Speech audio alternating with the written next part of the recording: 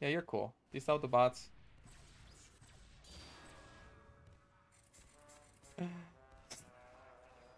Bot down.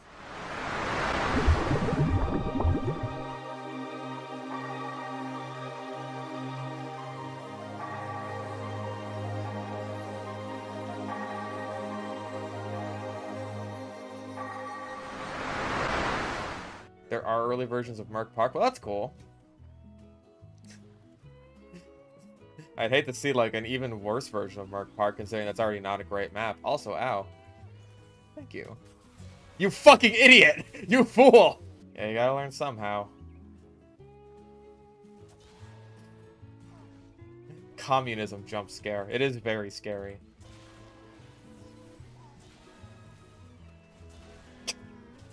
I'm so sorry, Beans! I'm so fucking sorry! I was every kunai spy ever to Beans. He was the one guy that was actually bothering to shoot at me. And I was that kunai spy who's just like backstabbing my way through a fucking horde of teammates that are too stupid to turn around. But granted, like three of those dudes legit were standing still. That's not really the problem. It's not like, oh, Spy's an overpowered class. Look at all these people I can kill instantly with my backstabs because they're standing still. Like, no. The problem is poor fucking Beans was shooting rocket after rocket after rocket at me. And it's just like, it didn't fucking matter because there were enough brainless idiots standing perfectly still that, like, he's just wasting his time and ammo. He had to wait until I ran out of, like, teammates to backstab before he could finally kill me. Hello, free health. I mean, sniper. Really? Fucking pyros, man. I'm like, whether you're playing with the kunai or against the kunai, I'm telling you, your teammates are your worst fucking enemy. That's the conclusion I've come to. Like, I, I challenge everyone watching this stream to find a situation where I died specifically because I was using the kunai. Now, I can tell you for certain, I lived there because I was using the kunai. Hi, Beans. Okay. I'm so sorry. Ah!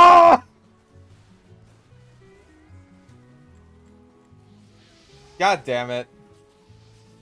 Ah, the Pog Uber!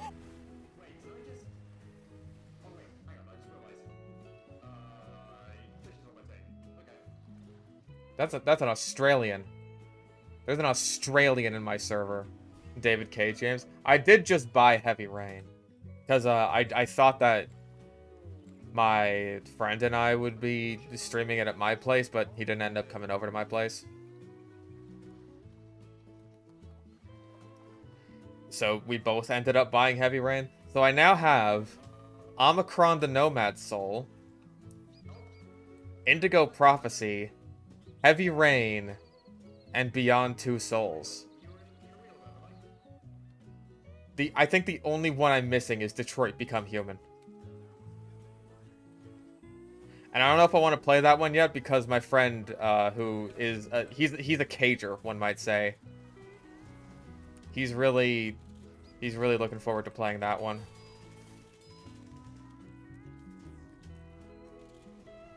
Jason! Jason! Jason! Uh, Fiddler, run! Sean! Sean! Sean! Sean! Look at my roommate, Drew. Look at this adorable little guy.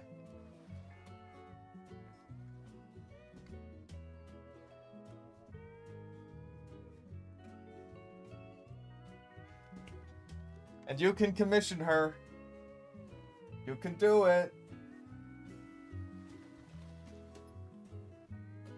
Where can you find this art? Follow my roommate on Twitter. Ask her, give her money. give her money right now. but yeah, between like Silent Hill 2 Remake being fucking dead on arrival as far as I'm concerned with there. We're updating the horror factor for modern contemporary audiences. Like, so what you're telling me is you think that the horror factor of this iconic horror game is dated? You think it needs to be updated. That is what you're telling me. Ah, oh, fucker. Oh, we're, we're staying faithful to the original, but updating the scares for modern uh, modern contemporary... Uh, what, where was that fucking tweet? Where's that fucking tweet? I'm so pissed off right now. Yeah, the Silent Hill 2 remake aims to be faithful, but will adjust scare factors for contemporary audiences. Fuck you. Fuck you. Yeah, that's what I'm saying. Like, are, are we going to get Silent Hill Outlast or Five Nights at Silent Hill? What's it going to be? Which is which is the direction we're going to be going in to update the game for, for modern contemporary audiences. That and just everything involving fucking Bloober Team and all of their shit just completely tanks all of my faith whatsoever in this in this remake. You're telling me that what visual that what Bloober has done with the visuals isn't an improvement? I mean, from a fidelity standpoint, I suppose. I'm just talking about like what the emotion of this scene is trying to convey, right? A lot of the subtlety, like not to say that, oh, hey, this imagery of James fiddling around with a hangman's noose is particularly subtle when one of the endings is, by the way, you fucking kill yourself.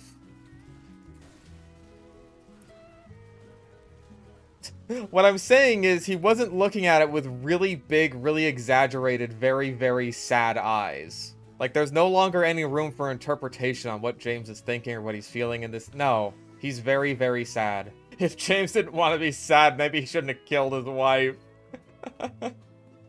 oh, man. Should have thought about that one, idiot. Maria, this town is straight bussin'. Sheesh. Oh. Oh, God! Holy shit! Oh my god, aerial combat! Oh no, no! The shortstop shove, we made it good. Opinion on High on Life? I have not seen a single clip from the game that made me laugh. So, uh, again, if that's the kind of humor that is in Rick and Morty, then holy shit, Rick and Morty is not a funny show. Like, I, I, I feel like I could probably get a somewhat similar experience in a lot of first-person shooters that don't have the Morty guy doing the Morty voice in my fucking ear for like 12 hours. Uh, oh man, you just you just shot that guy. Oh, that's that's really nuts. Holy shit, that guy's dead. Uh, do, do, you really do, do you think it's uh, kind of crazy how how we just kind of gloss over shooting people in a video game like that? Like that guy's dead. He he probably had like a family and everything, but but you just you just murdered him. Like it's gonna be that for 12 fucking hours. I can't handle that. No, thank you. Fucking nailed it. Good. I'm glad I was able to fucking nail the stupid Rick and Morty humor through pure osmosis. Oh man, I'm really laying down that point with the with the meta commentary, aren't I? And and, and, and I gotta I gotta stutter a lot too, cause you know if, if you if you stutter a lot, that makes your dialogue seem more naturalistic and not just like like um like like people have a, have a major speech impediment. The Last of Us show that was announced, um, I think it got spammed in my Twitter feed so fucking much that now through sheer overexposure, I never want to hear anything about it ever again. But, um, my thoughts on it before that happened was, wow, they really don't want anyone to look like the characters from the game, do they?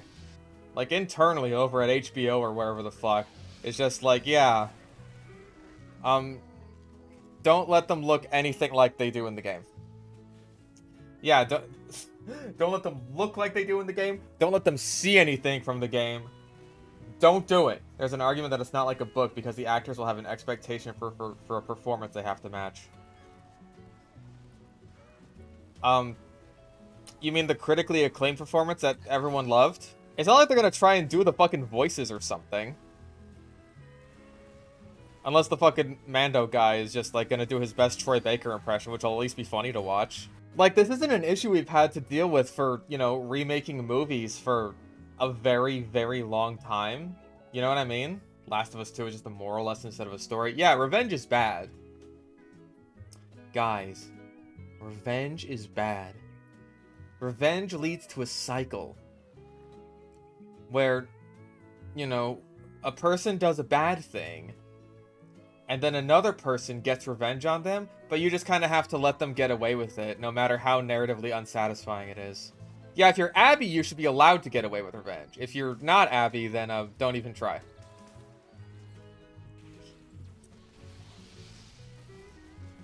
I feel like this just makes Medic a really good spy checker in general now.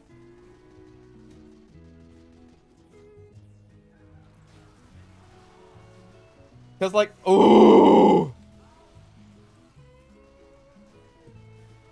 Like, on top of the crossbow making the, uh, the damage indication when it hits someone, you also have the syringe guns, which you're encouraged to shoot your teammates with. Where the fuck did you come from? Boy?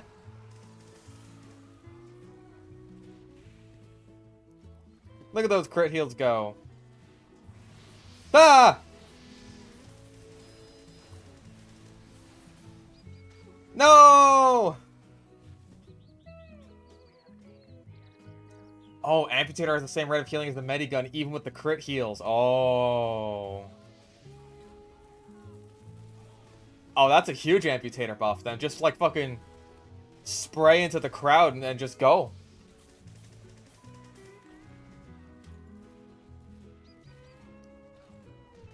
Yeah, damn. Crit heals.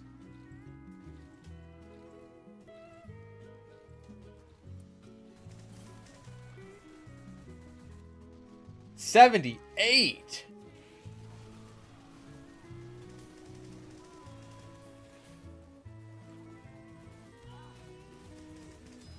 I'm going in, boys. Yes, I have heard about Velma. Ow. Um, I feel like I've had more people asking about this shitty new Velma show than I have had ask me about, like, the giant-ass TF2 leak in this stream.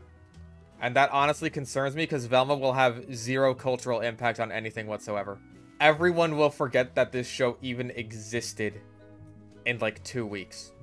Like, max. Yeah, more important question. Have I seen Puss in Boots 2? Yes, I have. It's very good.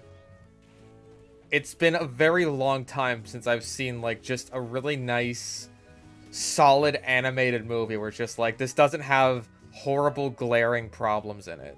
Like, yeah, I have hope for Shrek 5 now. That's crazy. I never, I never expected it. And yet here we are in the timeline where Shrek 5 of all things has a chance of actually being really good. See, this is a great time to use the amputator when we're um spawn camping. Yeah, like Puss in Boots 2 has changed my opinions on Villain Bloat, of all things. Like, goddamn, apparently juggling three villains is not as difficult as Spider-Man 3 would have you believe if fucking Puss in Boots is able to do it right. And like, they're three completely different types of villains too. You've got one that is like literally a force of nature. You've got like the completely irredeemable one who's also great comedic relief. It's great. It's just a great movie. On top of that, it's like really funny. The action scenes are all great. Like shit, man. Where you been, DreamWorks? We missed you. It's not just like, oh, hey, they're doing the Spider-Verse thing where it's all like stylistic and they're playing around with the frame. It like the shit they do with the perspective sometimes is really awesome. Like, uh, you could tell that just so much like fucking care and attention went into making this movie. Like the animators poured every bit of their heart and fucking soul into it, and I I can see that, and I greatly appreciate it as someone who just like likes good animated movies. Would I say DreamWorks best? I wouldn't say that because Prince of Egypt exists. I mean, like, I'd say it could beat out Shrek 2 potentially. Maybe not, like... Obviously, Shrek 2 has the benefit of being, like, long lasting. It's sort of got this iconography to it. It has a couple of problems. I don't know what major problems the Puss in Boots movie has, except it starts off a, like it, it's a little bit slow. Just to start off though, like right towards the beginning. Well, not like right at the beginning, because the beginning is fucking bombastic. First 10 minutes of the movie are just like a fucking roller coaster ride, and it's awesome. And Puss in Boots is like doing Shadow of the Colossus shit. It's fucking cool. But after that point, it slows down a little bit, but it's like, it's very purposeful slowing down. So I can't blame the movie too much for it. It's just like, you know, that's that's something you could consider a problem if you were so inclined. Yeah, it's like a scene of slowdown. Just the scene that takes up a lot of the trailer, actually, where it's just like, oh, Puss in Boots is living at the cat retirement home. That's it. Aside from that, the pacing is, like, fucking perfect. Crazy I was able to completely predict the whole Goldilocks side arc thing and you still be able to be invested by it. Like, yeah, it's not like a movie that's just like, oh man, it's doing shit you ain't never seen before. But what it does, it does really fucking well. And I greatly appreciate that. When it's like so many movies lately, especially from places like Disney, are just, they're completely butchering what should be such simple plots. It's a movie that, like, sets out to do what it sets out to do and does a good damn fucking job at it. It knows exactly what it wants to be.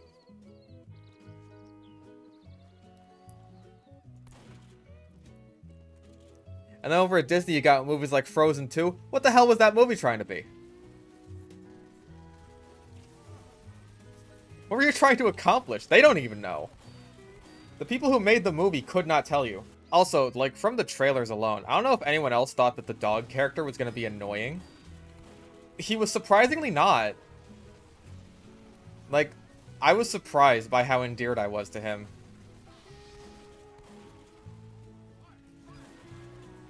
I almost felt like I was kind of right there with Puss in Boots, where it's just like, I think I go in thinking I'm gonna fucking hate this guy, but then at the end, it's like, oh, you know what? He's actually pretty cool. He, he's he's a nice little dude. I was like, why is this not annoying me? Like, it's so easy to fuck up a character like that. And yet he ends up being one of the one of the many highlights of the movie. Because it's a movie with multiple highlights. Fuck! It's just really good. Yeah, Puss in Boots 2 is a great movie. Go see it in theaters. This is not sponsored. We'll see what we get. Oh. It took a while to get something, but uh, we got there eventually.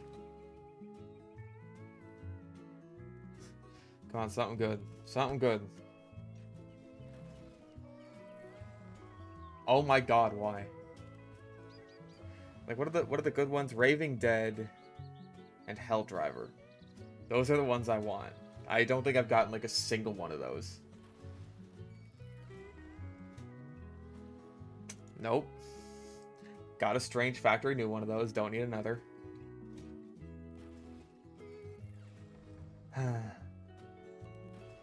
and it's just a backpack expander, and that's just paint. Damn. There's $10 down the drain. Got him. George H.W. Bush Gaming. You helped kill John F. Kennedy. Thought that was who did 9-11? No, that was his son, George W. Bush. George H.W. Bush was, uh... Let's see, he was... I believe Ronald Reagan's vice president as well uh, when he got shot, but, you know, Ronald Reagan actually lived. He was former CIA director, but before that, he was in Dallas the day that uh, JFK was shot. And then he basically groomed his sons into being politicians, and then uh, his son George W. Bush became president and did 9-11. Just watch Kitty History, it explains everything. Bison Gaming with the bison. Give it a twirl. I kind of can't. Not without the. It's it's not designed to twirl. I'm gonna fucking do it.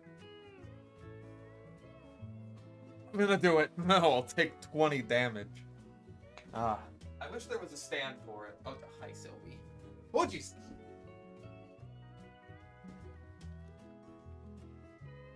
I tripped.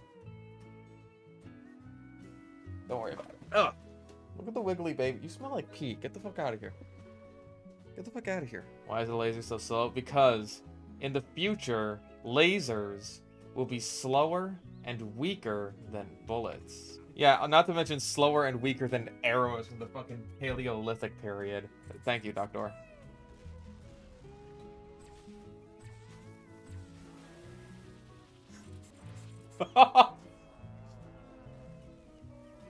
I did it.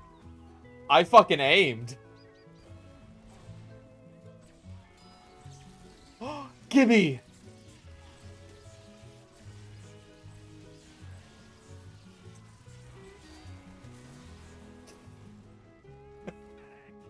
oh. Alright, um... He was fucking... He's so overhealed.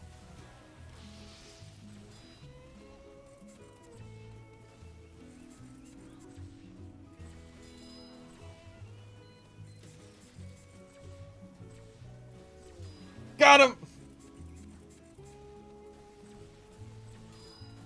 Damn it! If I was playing anything else, I would be dominating. I got like the whole package. I'm like the TF2 YouTuber with the cryptometic shoved up, shoved up my ass. But I'm using the bison. That okay.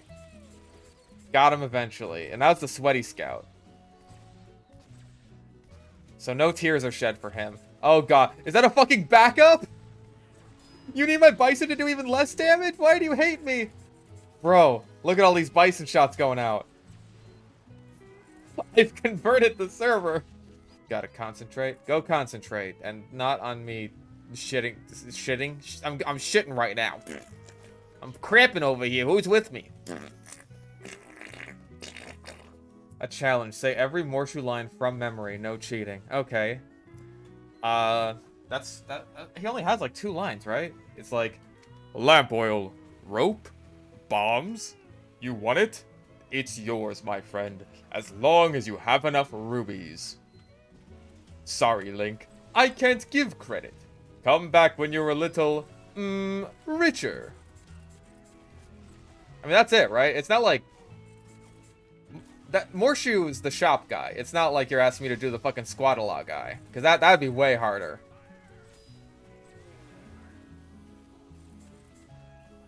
Fuck off. Like, honestly, I don't know why this game's going way better. Maybe I just, like, had my practice run. Got him. I don't know why I didn't get the kill sound for that, but...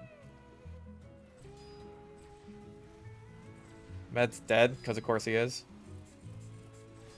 Got him! I hit him with the old, I sure am running away. And now we're on a three streak. Rewatched The Mystery of the Druids and forgot how insane Halligan was. Bro, Halligan's great it's like it's almost enough to be like a deconstruction of like the the typical adventure game protagonist where you're just like going around stealing a bunch of shit and fucking a bunch of people over but it's all taken like it, it's all played straight like poisoning the homeless dude to take his fucking change that was a double by the way oh my god favorite Scooby-Doo film, animated or otherwise. I feel like... I feel like I was most partial to The Witch's Ghost. That's a fun one. It's got Tim Curry. It's got the Hex Girls. It can't be bad. Zombie Island is, like, also a very good one.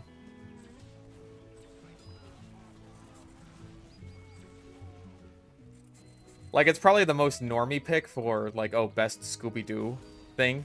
But, like, you know, there's a good reason for that. Like, I, like, I just see no reason to judge people for liking something that is generally very well accepted as being the best. Like, especially if it's something that has a lot of thought put into it, just by, like, you know, the people who like that sort of thing.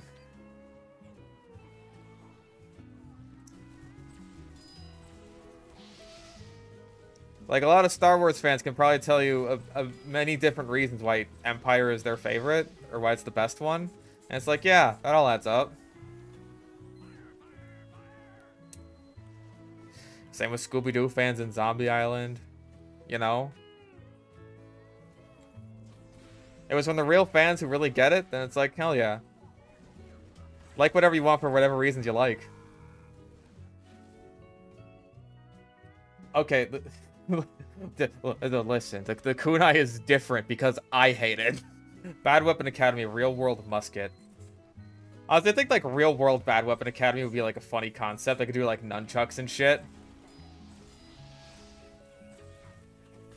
How does one use nunchucks? Without just like, you know, fucking killing themselves. Nunchucks in a past. Talk about gunchucks. Oh yeah. Oh man, it's just all mall ninja shit. I mean, like, maybe there'd be some weird ones. Like... Hang the fuck on. Look at it!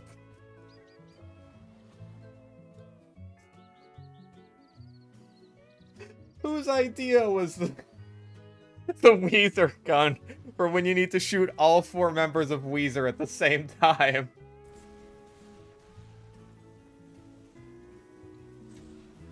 Got him! That's my fucking second invisible spy bison kill.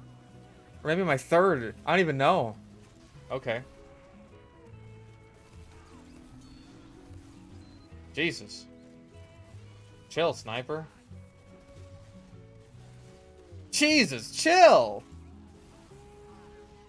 They're just baby! Chill! mat underscore viewpoint scale viewport scale 0.1. Alright, what the fuck is this gonna do? 0.3. Oh, oh, oh.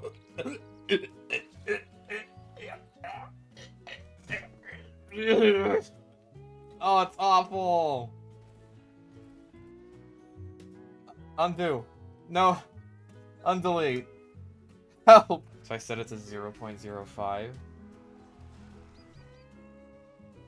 I'm gonna do it. Oh, oh my god! Who would play like this? Oh, I have a headache looking at this. Alright. Our goal is to get a double donk like this. Oh god, I'm I'm fucking Oh god. Okay.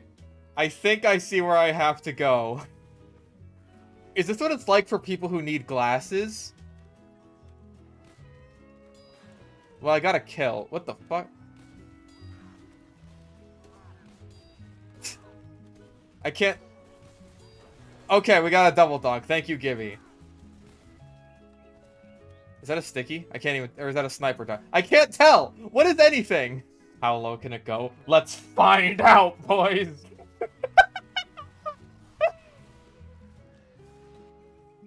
oh god, we've entered the other space!